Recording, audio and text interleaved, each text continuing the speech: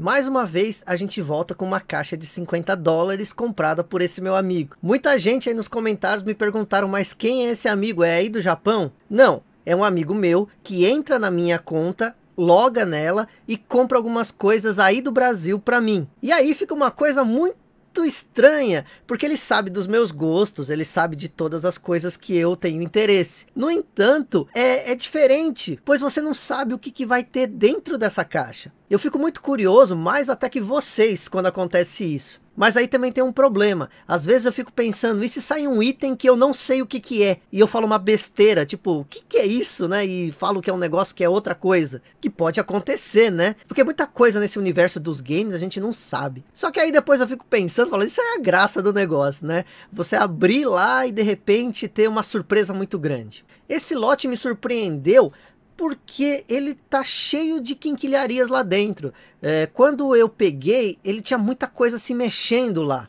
Então não pode ser somente jogos, porque os jogos ficam bem acondicionados e não tremem tanto e não fazem barulho. Até tremem, mas não fazem barulho, porque geralmente as lojas acondicionam um jogo de cada vez. Então eles ficam envoltos num plástico e não fazem tanto barulho. Mas no caso dessa caixa tá tendo bastante barulho. O que, que será que veio dessa vez?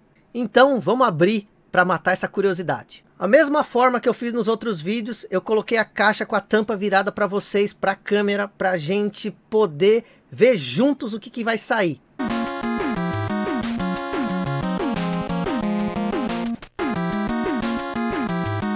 Vamos lá. Caramba, quanta coisa. Eita! Mega Drive 2. O Mega Drive 2 eu não tenho ainda, então já foi uma coisa muito legal. Eu não tenho esse modelo do Mega Drive 2. Ele tá meio sujo, né, mas aparentemente tá tudo certo com ele. Eu já falei isso em outros vídeos, mas eu volto a repetir. Esses modelos 2 ou Slim, no caso do Super NES e no caso do do PlayStation 2, eles são mais caros do que os primeiros modelos. Porque aqui no Japão, quando algum aparelho é lançado, é, ele é logo vendido. Diferente aí do Brasil, que quando ele é lançado, ele é lançado muito caro. E aí todo mundo espera sair uma versão mais barata. Geralmente as versões Slim são mais baratas.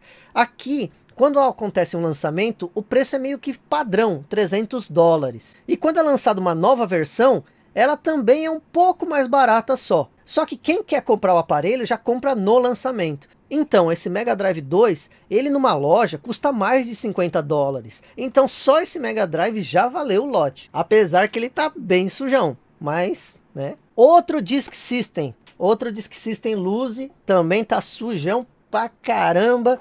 Mas é outro Disk System. Disk System que vocês estão ligados. Ele é o leitor de disquete do Famicom. O NES aqui do Japão.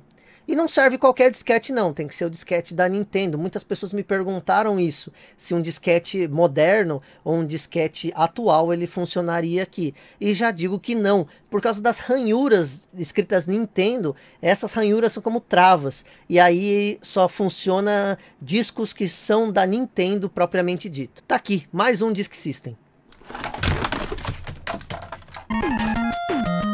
Vieram dois Famicons, as fontes dos videogames, os cabos. Ó, aqui tenho dois Famicons bem Gold Edition e tem duas caixas. Eu não sei bem se os Famicons vieram luz e, e as caixas ali não tem nada, ou se tem alguns Famicom naquela caixa lá também. Porque são duas caixas, vocês estão vendo aqui, né? E aí tem as fontes, os cabos e tudo mais. Mas aqui, ó, tem dois Famicom, dois Famicom bem, bem feinhos, bem feinhos. É mais 50 dólares. Fontes, isso aqui é uma fonte de Game Boy. Essa é uma fonte Nintendo. Essa fonte do Mega Drive. Essa fonte também é uma fonte da Nintendo. Ó, o cabo do Mega Drive para você colocar na TV. Fonte original, olha aqui, ó, do Super Famicom. Aí sim, hein? Controle de seis botões do Mega Drive. Isso aqui é bem carinho, hein, de você comprar. Carinho não, digo que é uma questão de 8 dólares, mais ou menos. Isso aqui é a parte de cima, que vai encaixada em cima do, do Famicom, que é do Disk System também. Essa parte aqui acoplada no Disk System e a parte de cima aqui acoplada no Famicom. virar aqui para vocês, ó, vocês veem que tem três caixas. Uma do Super Famicom lá no fundo, uma de Famicom aqui e a outra de Famicom também. Aqui já está rasgada a caixa. Será que elas vieram com alguma coisa ou será que os aparelhos estão ali? Essa aqui, ó, a caixa tá bonita. A caixa tá bem bonita. Tá até mais bonita que a minha. Aí, ó, veio um Famicom aqui, mas o Famicom tá bem amarelado também. Só que não veio fonte, cabo, nem nada. Mas também os cabos vieram todos ali, né? Isso aqui, a caixa clássica do Super Famicom, né? Tem umas coisas balançando aqui dentro. Vamos ver, eu acho que tem console sim, porque tá bem pesadinho.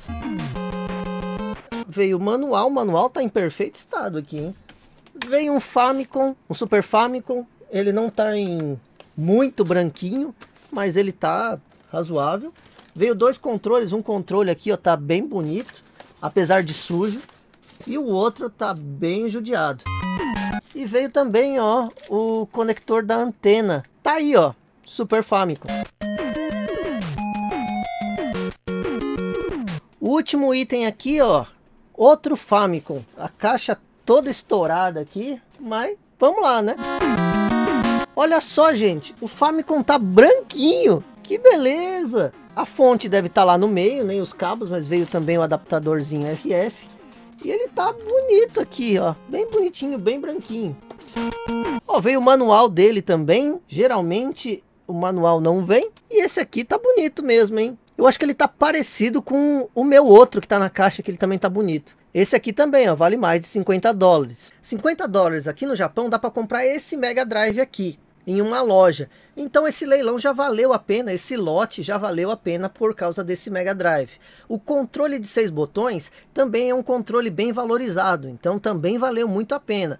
Aquele Famicom branquinho também foi uma coisa muito legal. Os outros itens que vieram são itens relativamente baratos, principalmente esses Famicoms mais amarelados, eles são vendidos a 5 dólares, aqui é algo muito barato. Disk System também é algo muito fácil de encontrar. Essas fontes também elas são fáceis de encontrar nos junk, elas são separadas com umas fitinhas coloridas e cada uma tem um valor entre 2 a 5 dólares. Mas esse lote foi interessante porque vieram vários aparelhos e eu gosto desses aparelhos aqui, né? Porque fazem parte da história. Então é isso. O que, vocês acharam desse lote? Apesar de terem vindo coisas comuns, eu fiquei muito feliz, porque eu não tinha esse modelo número 2 de Mega Drive. Mas como sempre, o vídeo não acaba por aqui. Eu quero saber de você. Valeu a pena esses itens por 50 dólares? Ah, e não se esquece, me segue lá no Instagram e no Twitter, Vitorisui, que eu posto fotos desses itens e de itens que ainda não mostrei aqui no canal. Então, me segue lá, arroba Vitorisui, no Instagram e no Twitter. Eu sou o Isui, obrigado a você que viu o vídeo até aqui e até mais.